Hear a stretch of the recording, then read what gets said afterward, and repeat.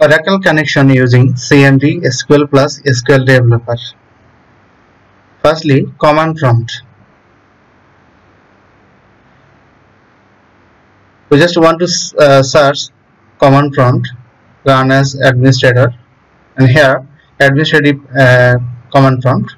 I just want to write uh, SQL plus SQL plus slash no log and then hint enter, enter button here we can see the SQL plus environment. And here I just want to firstly uh, connect to sysdb. Just connect sys as sysdba just hit enter hit uh, enter uh, button. And then we need to uh, pass give the uh, password. Connected and now I just want to uh, connect another user. Like uh, firstly I uh, just want to give ASR slash ASR or connect ASR sorry a can just uh, we, we can uh, write here CONN also and then password. Here we can see the ASR user already connected. So show user then here user is ether. Now we just want to see how do we connect SQL plus. Just search here SQL plus. Here SQL plus run as an administrator.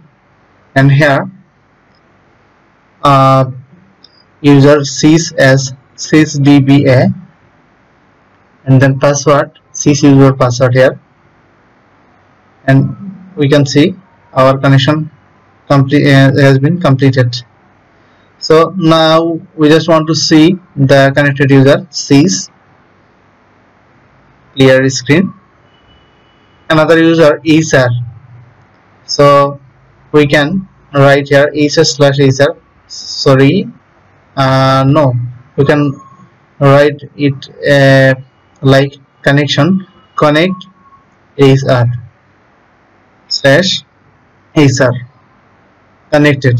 So user ASR already connected. Now we just want to see how do we connect SQL developer. Here SQL developer already installed in my environment. So here we can see two connections are available. I just want to delete ASR uh, connection yes. Now uh, I just want to create new connection by clicking on plus button. Here we need to give the connection name ASR underscore user. User okay. Just uh, uh, need to give the username ASR and then password ASR also save mode everything will be remain here. Okay. The localhost and default port uh, 1521 we need to give the service identifier SID value here uh, here uh, orcl19c so I can test yes connection succeed if we uh, connect button yes connection made successfully. Here we can see the possible tables for uh, each user.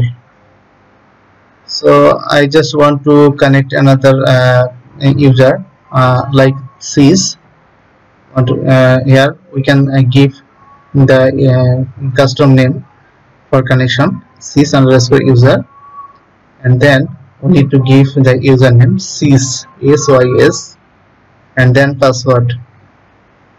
Okay? And then we can save the set password. Here one thing is very rememberable is role must be uh, sysdba and then need to give the SID value oracle 19c that we set for ASR user connection. Test. Yes status success.